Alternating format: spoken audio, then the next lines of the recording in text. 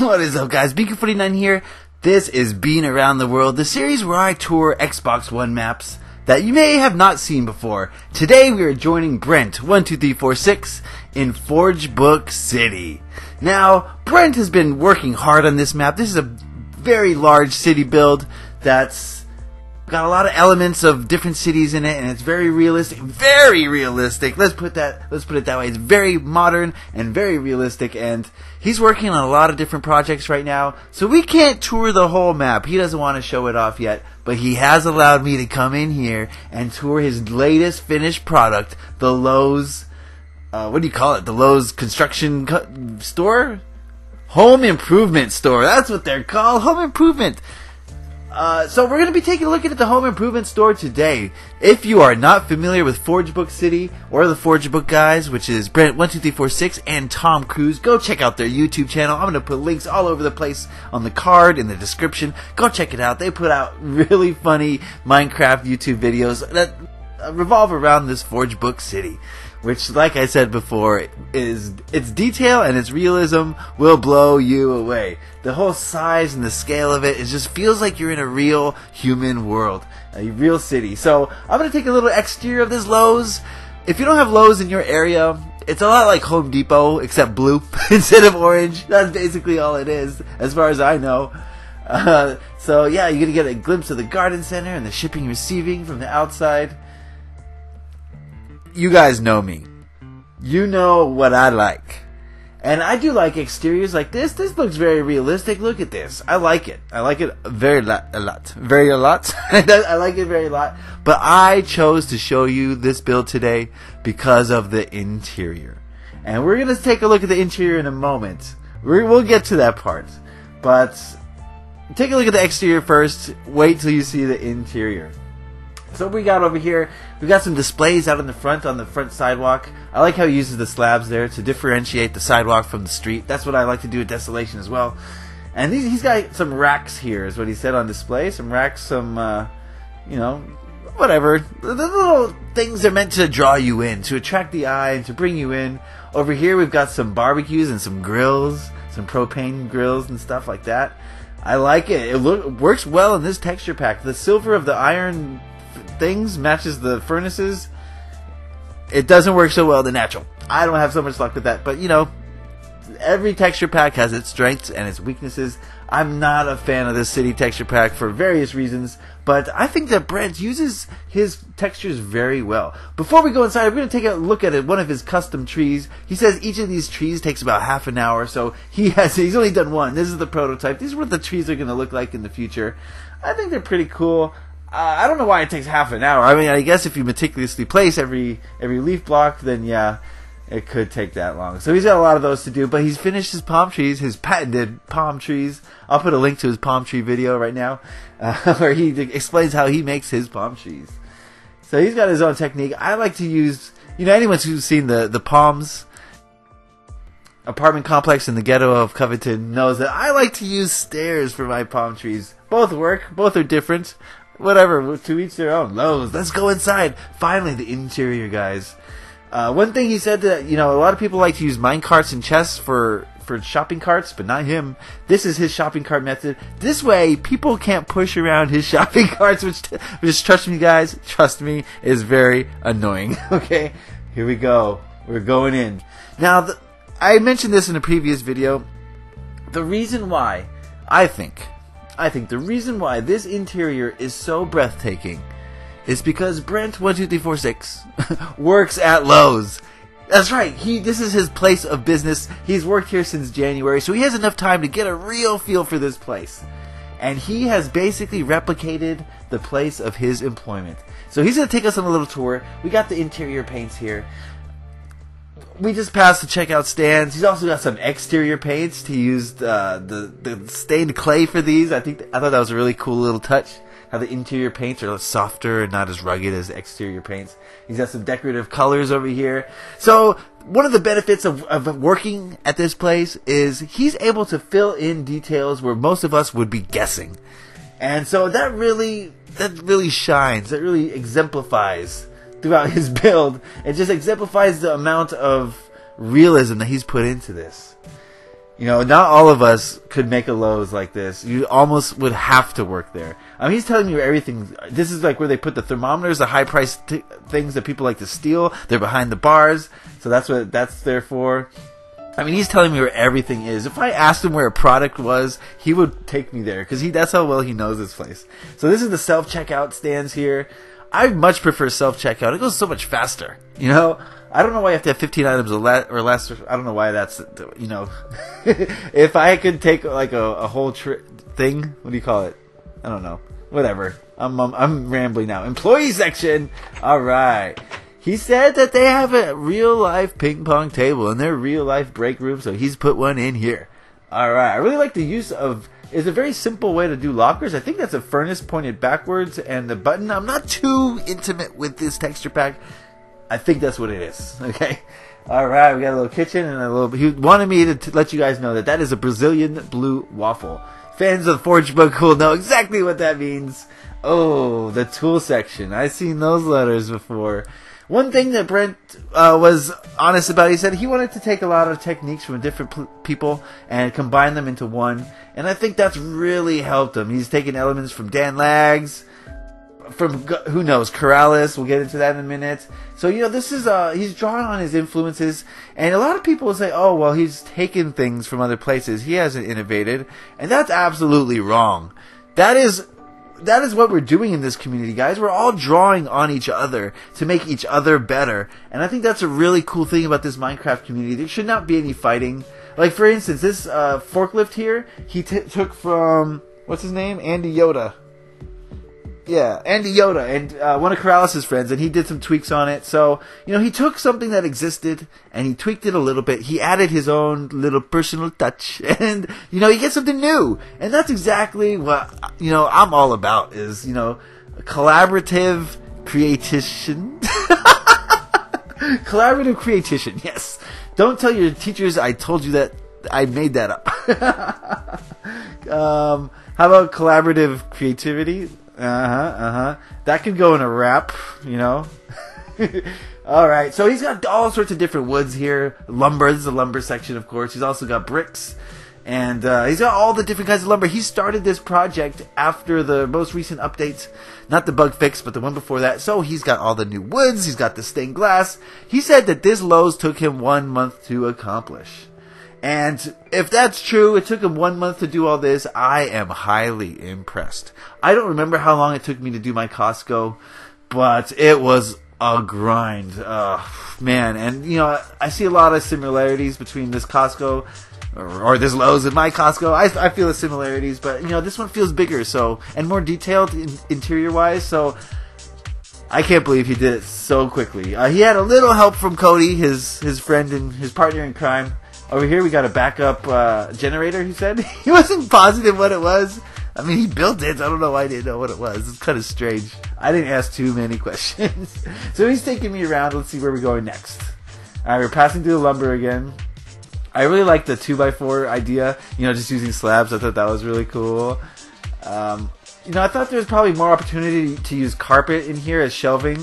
Uh, I know that this is a warehouse type store and you want heavy duty shelving, but you know, there's also some smaller, uh, more fragile items that they sell here. This is the Andy Yoda forklift that I was just talking about, uh, that he tweaked.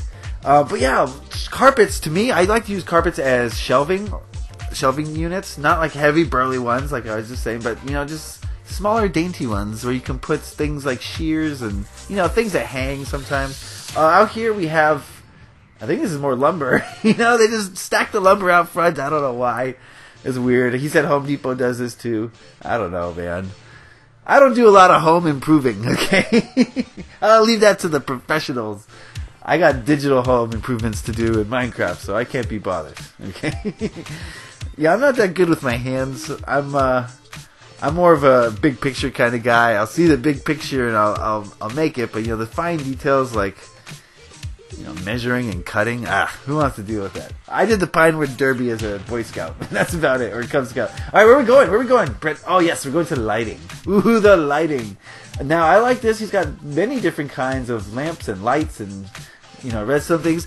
Uh, one thing he said that he wanted to kind of combine the world of Minecraft with the world of real life. So you're going to see a lot of Minecraft products mixed in with a lot of real life products. So you're going to see some redstone dust and some mine carts. But you're also going to see lamps like this and home theaters, stereo sound, surround sound systems. You know what I mean?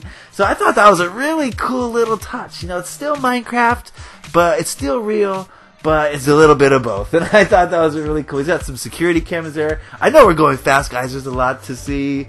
Uh, you know, not a lot of time. All right, what do we got? Oh, he said this is the shades. He said he wasn't really sure how to do shades. Oh, uh, I could have done a shade.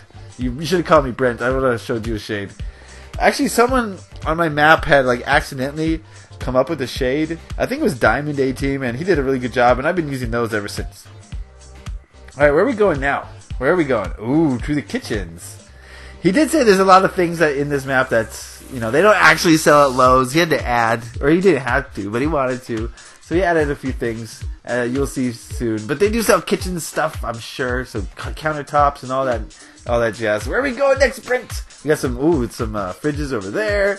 You can get lost in this place. In fact, I'm sure kids get lost on a daily basis. I remember when I was a kid and we went to the Home Depot. That was before Lowe's existed, and my parents took us to the Home Depot. My sister and I used to play a little game where we run away from our parents and try to hide and see if they could find us. Usually they didn't try to even look. Now, why would that be? They, they didn't want to find us?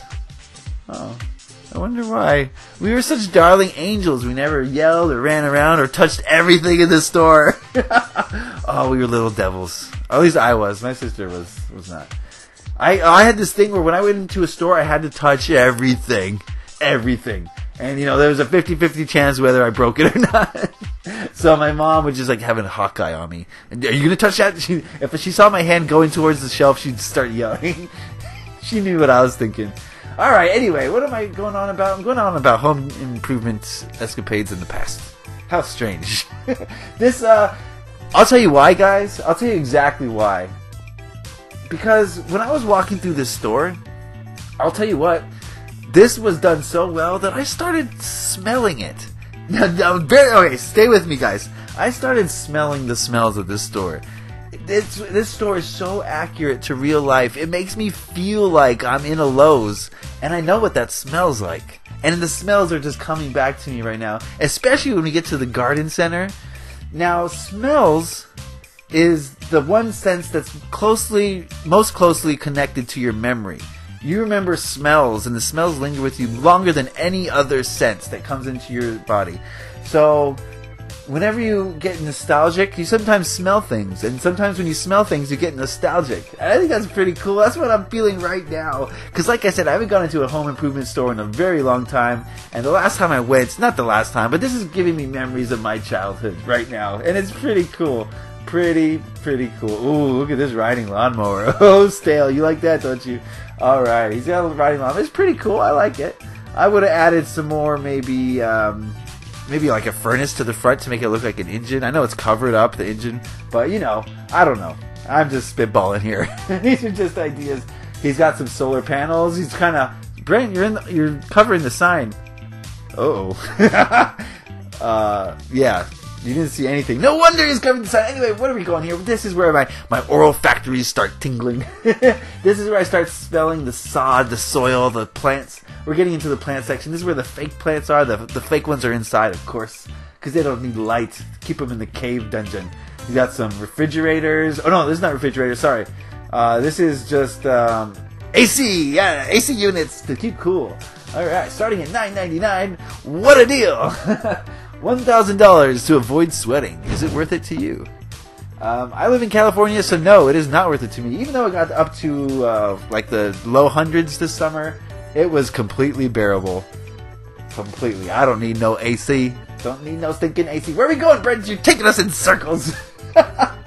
okay, we're going in circles, but that's okay. No worries, no worries. I think we should go outside. I know you guys from the very beginning, since you saw it on the outside part of the tour, wanted to go outside, so let's go outside. I like the garden center.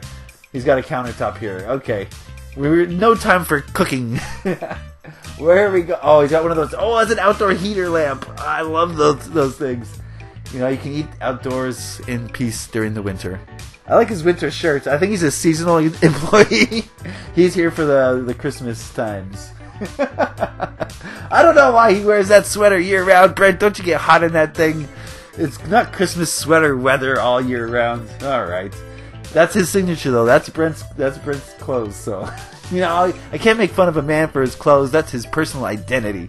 Anyway, we're outside now and we got all sorts of lovely things. The outdoor check stands. He informed me that if the lines are too long out front, you can go to any one of these tertiary check stands. Did I use that word correctly? One of these other check stands, and they'll just ring you up, and you're out your, out the door. So don't battle long lines. Take your stuff out to the nursery. Let them deal with it. You know what I mean? all right, we're going through the nursery here. Uh, one of the things that you know they don't actually sell at Lowe's, but he wanted to improvise and add to the build because he thought it was cool. Was these above ground pools? Yeah, there's one. and he's also got some decks over here. I really like this deck. I want this deck for my home. That's nice. You can just sit back and drink a beer and enjoy your your above ground pool on that thing.